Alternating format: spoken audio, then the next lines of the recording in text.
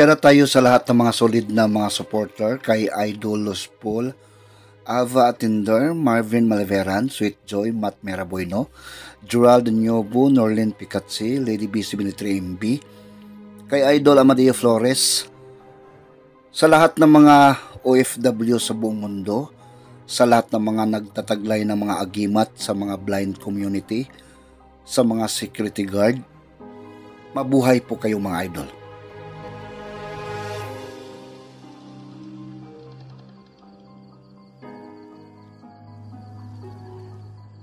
Tinawag agad nito ang asawa para siya ay buksan. Ilang sandali pa, nag-hysterical na itong si Adelpa nang makita ang dugo ang asawa. Sabi nitong si Mateo, Huwag kang mag-alala, Adelfa. Okay lamang ako. Nakaharap ko sa labas ang aswang. Nasugatan ko siya at nasundan ko hanggang sa kanilang tirahan hinila pa nitong si Mateo ang kamay ng kanyang asawa at sabi niya uli, Ang bago nating kapitbahay ay mga aswang, Adelva. Sila ang umaatake sa akin. Mabilis nang ginamot ni Adelfa itong si Mateo na sa pagkakataon na yon, nawalan na ito ng malay. Gusto sanang hihingi ng tulong itong si Adelfa sa kanilang mga kakilala na nasa unahan. Ngunit natatakot din itong lumabas ng bahay. Baka kasi babalik pa ang mga aswang. Dahil laki sa bundok itong si Adelpa, may kakaunting kaalaman ito sa panggagamot. Isinirado nila ng mabuti ang pintuan at bintana ng kanilang bahay at pagkatapos doon na sila na natili sa sala. Balak ni Adil pa na bukas na bukas din hihingi siya ng tulong sa mga kakilala para madala sa ospital itong si Mateo.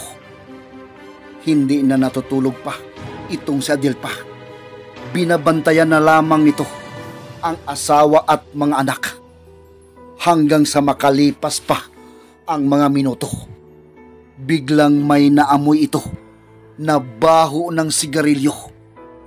Kaya nagpalinga-linga sa paligid itong si Adilpa at hinahanap ang pinanggagalingan ng amoy hanggang sa mapunta siya sa may bintana.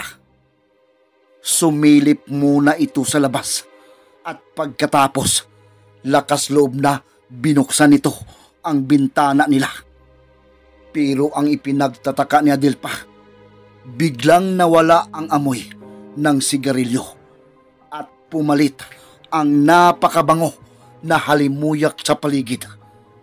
Inaaninag niya ang labas. Nang akmang isara na niya muli ang bintana, nahawakan niya ang kumpul ng bulaklak sa gilid nito. Napaatras itong si Adelpa at tiningnan ang mga ito. Ang nasa kanyang isip, sino ang naglagay ng mga bulaklak doon sa bintana? Hanggang sa maisip nitong si Adelpa na baka ang kaibigan ni Mateo na isang agta ang nagbigay nito sa kanila. Maaaring gamot ito para kay Mateo. Naisip ito ni Adelpa dahil sa baho ng sigarilyo na naamoy niya kanina.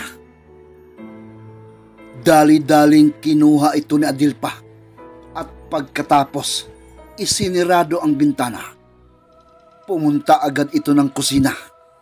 Nilaga niya ang mga ito at matapos ang kanyang ginawa, muling bumalik ito sa sala. Kumuha ito ng panyo at pinunasan ang mga sugat ni Mateo gamit ang mga nilaga niyang mga bulaklak. Isang oras din ang lumipas bago tumigil sa mga ginagawa ang asawa ni Mateo. At laking gulat niya nang magmulat ng mga mata itong si Mateo. Bumangon agad ito at nagpalingon-lingon sa buong paligid.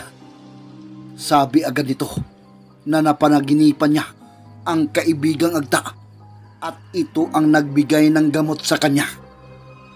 Pagtingin nila sa mga sugat nitong si Mateo, lalong nagtataka ang mag-asawa nang makitang naghihilom na ang mga ito. Sinabi din agad ni Adelpa na may nakita siyang kumpol ng bulaklak doon sa may bintana at maaaring ang agta na ang nagbigay nito sa kanila.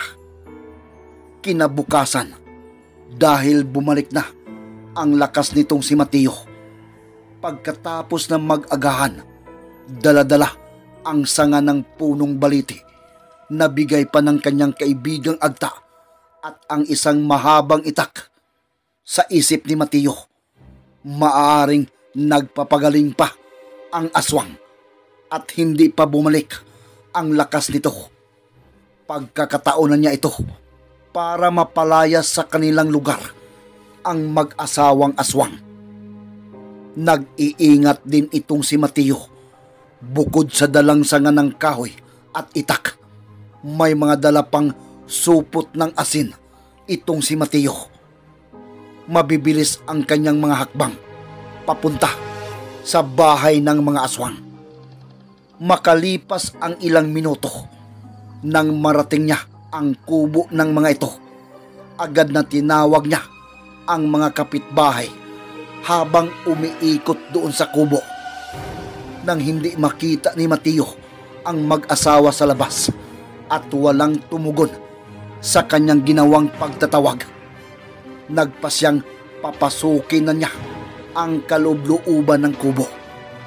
Sinipa nito ang pintuan at pagkatapos pumasok na itong si Mateo sa loob. Pero nagtataka ito dahil walang katao-tao sa loob ng kubo. Tanging mga gamit ng mga aswang ang naabutan niya. Nilibot niya ang kanyang paningin sa buong paligid. Amoy niya ang pamilyar na baho ng mga ito. Nakakasulasok na amoy na muntik pa siyang masuka. Makalipas ang ilang sandali, lumabas ng kubo itong si Mateo at nagpasyang lisanin na ang lugar. Pagkadating nito sa kanilang bahay, sinabi nito agad kay Adilpa na wala ang mag-asawa sa kanilang kubo. Babalik ako mamaya sa kubo nila, Adilpa. Wala ang mga aswang. Baka pansamantalang umalis pa ang mga ito. Ilang sandali na nagmatsyag itong si Mateo sa kanilang kapitbahay. Inaabangan nito ang maaaring pag-uwi ng mga aswang.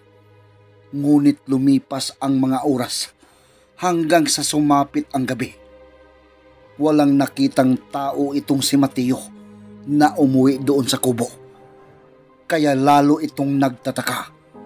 Ang nasa kanyang isip ngayon baka tuluyan ng nilisan ng mag-asawa ang kanilang lugar o maaaring nagpapagaling lamang ang isang aswang dahil sa mga natamo nitong sugat sa labanan nila kagabi. Alas 8 ng gabi nang lumapit sa punong baliti itong si Mateo. Nakipag-usap muna ito sa kanyang kaibigang agta sinubukan na tanungin ito ni Mateo kung may alam ba ito tungkol sa mga aswang na kapitbahay nila. Ang sagot ng kaibigan nitong agta, Kaibigan, ipagpatawad mo. Hindi ko nasaklaw at abot ang pinaggagawa nila. At may mga kaalaman din ang mga ito sa orasyon kaya hindi kaya ng aking kapangyarihan na sundan ang mga pinaggagawa ng mga ito. Pero may ibibigay ako sa iyo, kaibigang Matiyo. Ito ang mahiwagang ugat ng punong baliti. Kunin mo ang katas nito at ilagay mo sa isang maliit na buti. Sambitin mo lamang ang pangalan ng tao na gusto mong markahan at pag bumubukal ang lamang katas ng bote, Ibig sabihin, malapit lamang sa iyo ang nilalang na namarkahan mo. Sa paraan na yan, malalaman mo agad kung nasa malapitan ang mga aswang. Ilang sandali pa ang lumipas, naglaho na ang kaibigang agta ni Mateo. Habang papauwi sa kanilang bahay, nag-iisip itong si Mateo kung paano niya markahan ang mga aswang. Ni hindi niya alam ang mga pangalan ng kanilang kapitbahay. Makalipas pa ang mga oras, nagpapahinga na ang mga ito maagang natulog sina Mateo, Adelfa at ang mga anak dahil sa kulang sa tulog ang mga ito sa nagdaang gabi at ang buong akala nila pansamantalang lumisan muna ang kapitbahay nilang mga aswang. Ngunit nagkakamali sila dahil mag-alauna ng madaling araw. May mga nilalang ang umaaligid sa bahay nila ni Mateo. Lumipas pa ang ilang minuto. Nagising na itong si Mateo nang may marinig na kaluskos sa kanilang dingding at mahihinang palaw na buses. Biglang nagising ang diwa nitong si Mateo nang marinig ang mga ito. Pinakiramdaman niya ng ilang minuto at nang mapagtantong may mga nilalanga ang nasa labas dahan-dahan nang bumangon itong si Mateo. Kinuha ang sanga ng baliti at ang itak. Pagkatapos, ginising nito si Adelfa. Adelfa, Adelfa, gumising ka. Dito lamang kayo sa loob at bantayan mo ang ating mga anak. May mga nilalang ang nasa labas. Mukhang ang mga kapitbahay na naman natin ang mga yan. Mag-iingat ka, Matiyo. Kung maaari, huwag kang lumabas. Baka masaktan ka na naman ng mga aswang na yan. Matapos ang pag-uusap ng dalawa, lumabas na itong si Matiyo. Bit-bit ang sanga ng baliti at nakasukbit ang itak sa tagiliran nito Dumiritso sa kusina itong si Mateo. Kumuha ng asin at pagkatapos sumilip na ito sa may bintana. Ilang minuto munang sinanay ni Mateo ang mga mata sa kadiliman at pagkatapos inaaninag na nito ang labas hanggang sa makita niya ang dalawang nilalang na tumatalon-talon doon sa kanilang manggahan ang akala niya na ang mag-asawa na ang mga iyon. Ang mag-asawang aswang na kanilang kapitbahay. Pero nagtataka si Mateo nang may makita pang dalawang nilalang ang nasa gilid ng kanilang bahay. Tatayo, tutuwad at tatayo ang mga ito. Pansin din niya ang panay kamot ng mga ito sa buong katawan Nagtataka itong si Mateo kung sino pa ang dalawang nilalang na nakikita niya dahil dalawa lamang ang kanilang mga kapitbahay. Bakit biglang may nadagdag na dalawa pa sa mga ito? Pinagmasdan lamang ito ni Mateo.